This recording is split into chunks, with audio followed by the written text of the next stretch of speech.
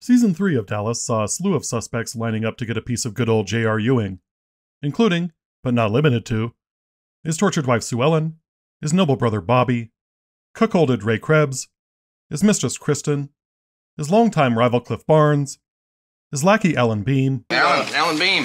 the half dozen business associates he screwed out of millions, Marilee Stone, the widow of one of those associates, his mistress Kristin, Kristin's boyfriend Rudy, who JR got fired, the ghost of Sue Ellen's paramour Dusty Farlow, who died in a plane crash, Jeb Ames and Willie Joe Garr, his mistress Kristin, both of his parents, honestly, his brother Gary, Gary's daughter Lucy, Gary's wife Valene, his mistress Kristin, and the guy who does the voice for Optimus Prime.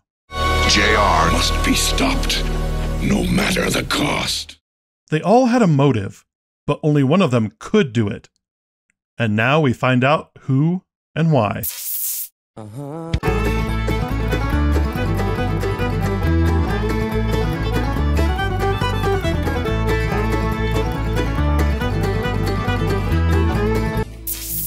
We pick up where we left off last time, with Sue Ellen Ewing being booked for attempted murder in the shooting of JR.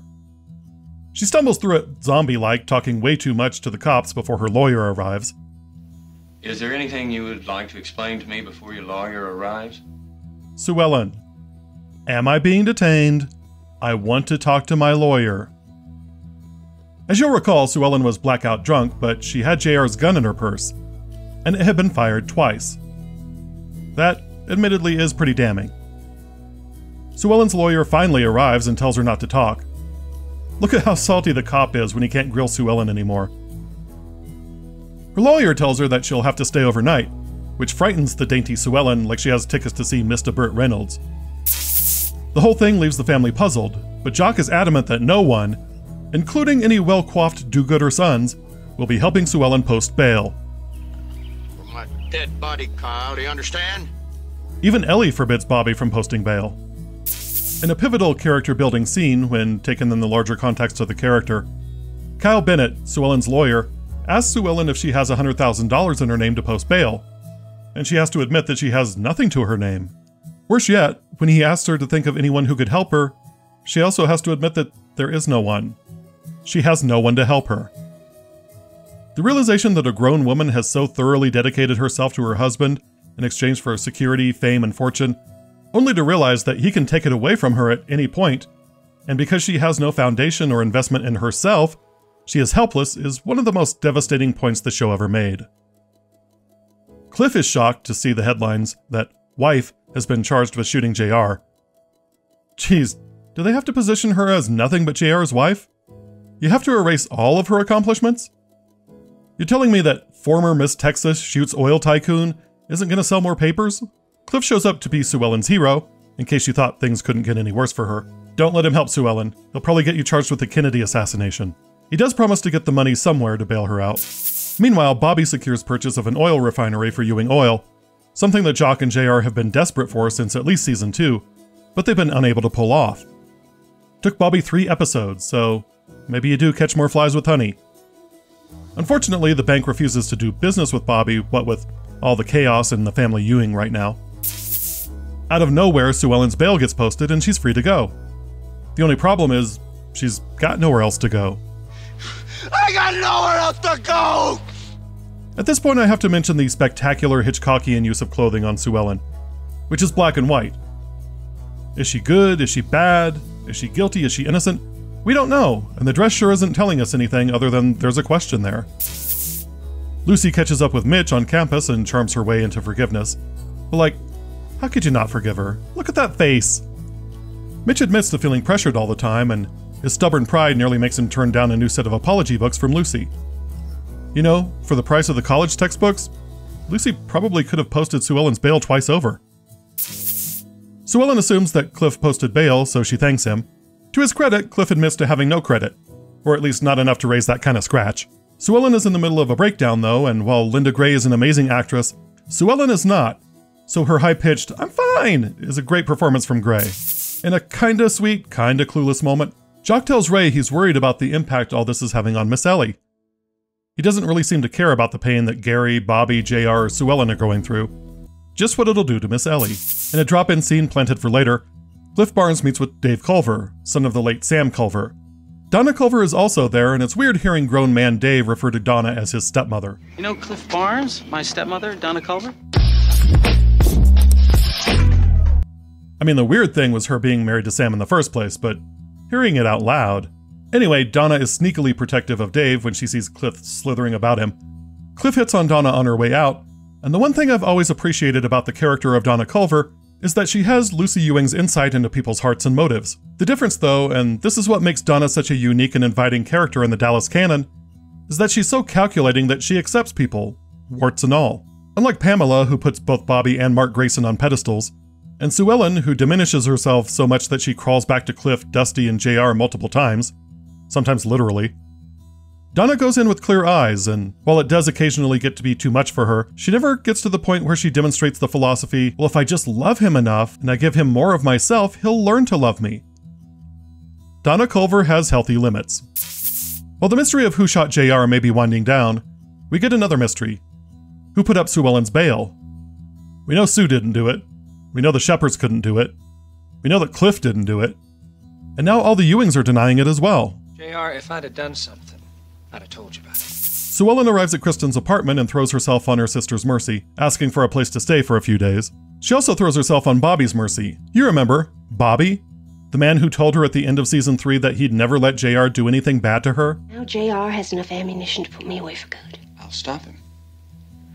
And you're not going to put me back into that sanitarium. Who's gonna stop me?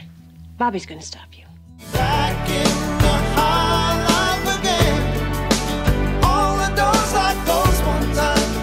She asks him to help her see her own son, to which Bobby responds with another lukewarm promise and tells her he's late for a meeting.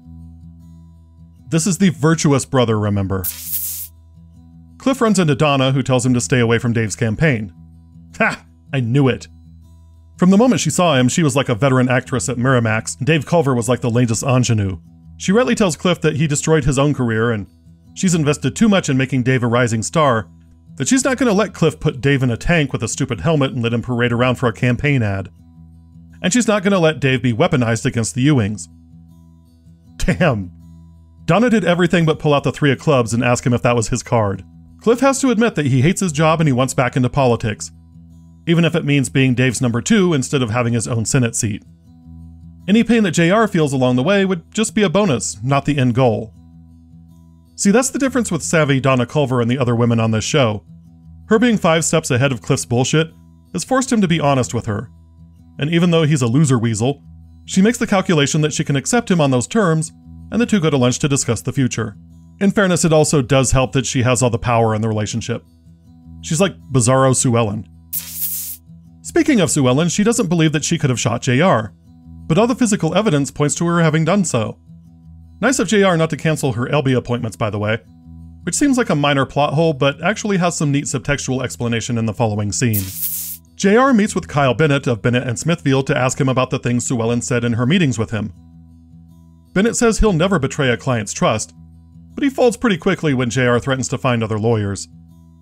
It is at this point when Kyle Bennett, superstar oil, gas, and criminal law expert Esquire, realizes that maybe representing an accused shooter when the victim has the entire law firm on retainer could be a conflict of interest. Why is every lawyer on this show the worst lawyer who ever lived? JR's gleeful aside to the camera when he all but threatens to root out Sue Ellen's conversations with her new lawyer is a nice welcome back for Hagman. See, this is what the first three episodes of this season were missing.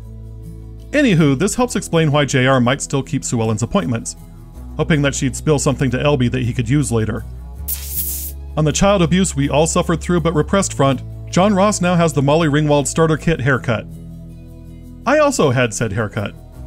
And so did the kid from The Shining. I swear, Satanic Panic was just a smokescreen to cover up this mass psychic trauma. To hell with Pizzagate. Why doesn't someone look into Bowlgate? You can start with this guy. Bobby relays the message that Sue Ellen wants to see her son. Jock and JR strenuously object. After all, Sue Ellen might get blackout drunk again and shoot the baby for no reason. Miss Ellie says that she and Pam will meet Sue Ellen in a public park to let her see the baby. It's weird that Ellie describes it like it's a drug deal. Well, maybe not. One, two, three, four, five, six, seven, eight, nine. It's the Ten Crack commandment. Bobby has to pass up the opportunity at buying the refinery because the bank is so chicken hearted. Come on, ignore the Glass-Steagall Act of 1933 and undercapitalize your bank by handing out a risky loan. What do you honestly think is going to happen? There has been a widespread loss of confidence, and major sectors of America's financial system are at risk of shutting down. At the park, stone cold serial killer Sue Ellen Ewing plays with her son. God, she's more animal than woman. Both Pam and Ellie find it hard to believe that Sue Ellen did it, despite the missing time window and the physical evidence. Finally, Sue Ellen relents and lets Dr. Elby put her under hypnosis, the go to plot device for all hacky mysteries. Yes, I'm looking at you too, Spellbound. This leads to the flashback sequence we've all been waiting for. Sue Ellen finds the gun in the bedroom. She tells Elby that JR has to be stopped. She has a drink to steel herself and then tries to call the office. She storms over to Kristin's to try to catch JR in the act, but Kristin just gives her more liquor. She does threaten to kill JR when she finds him, but she mutters something about Dusty and then wanders off. More drinking ensued, and it just goes to prove something my great uncle always used to say hypnosis is no match for vodka. She does remember everything that happened after the airport, though, and that's wherein the mystery is solved. The gun was hidden in the closet, but Sue Ellen was sober when she arrived home and she didn't have the gun. That only leaves one person, thus filling in Benoit Blanc's donut hole. I know. I believe in you. Sue Ellen storms over to the ranch, frightening JR half to death, but she's just there to accuse Kristin of attempted murder.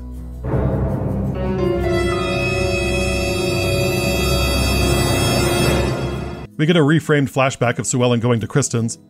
In this version, Sue Ellen sets the gun down on the table to accept the drink, rather than holding her drink, purse, and gun at the same time, like we saw in the original flashback.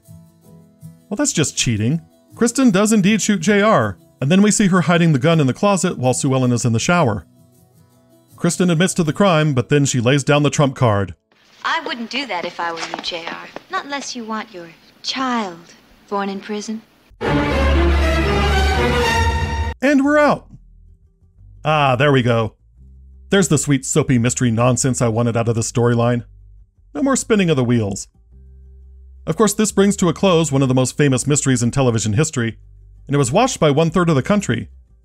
In fact, it was the biggest single episode in history for a year until the M*A*S*H finale surpassed it. You couldn't escape it. You had JR bumper stickers, you had JR merchandise, you had JR beer. I mean, everywhere you went, there was Dallas. As far as suspects go, Kristin's as good as any for the role. She had a rock solid motive, she was always vindictive enough, and she needed to be written out anyway to make way for the freshman crop of JR underlings. I appreciate the reveal too, and that the whole hypnotism thing was just a misdirect. The key to unlocking the mystery came after Sue Ellen sobered up, and was there the whole time although not for the audience, who clearly saw Sue Ellen drink with the gun and leave with the gun when Kristin told the story. That version of events ruled Kristin out because she never got her hands on that gun. That's fine if you're okay with misdirecting Sue Ellen, but it also misdirects the audience, so we really have no chance of engaging in the mystery. It's not like Rian Johnson's mysteries, where the key to solving the crime is recontextualizing the information you already have. A case with a hole in the middle a donut. This is just straight up lying to the audience. But you saw how drunk I was, and you still gave me a drink. Knowing I'd put the gun down to take it. I'm not mad about it, mind you. It would just be nice to play along at home, that's all. What I like most about this episode is that it sets up many future storylines organically, unlike the clunky way they did it in the previous few episodes. Sue Ellen has a mysterious benefactor, that's a mystery that naturally spins off from this one. Cliff and Donna form an alliance as a natural progression from Cliff getting disillusioned at his job because of the JR situation. Oh, and Bobby barely had any scenes with Pam, which is a nice bit of show don't tell as he slouches toward Babylon. It feels like we're finally getting ready to jumpstart the season, so buckle up.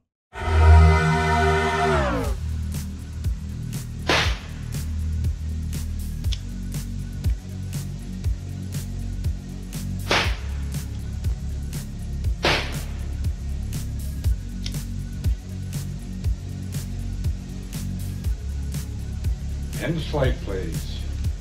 Mark it.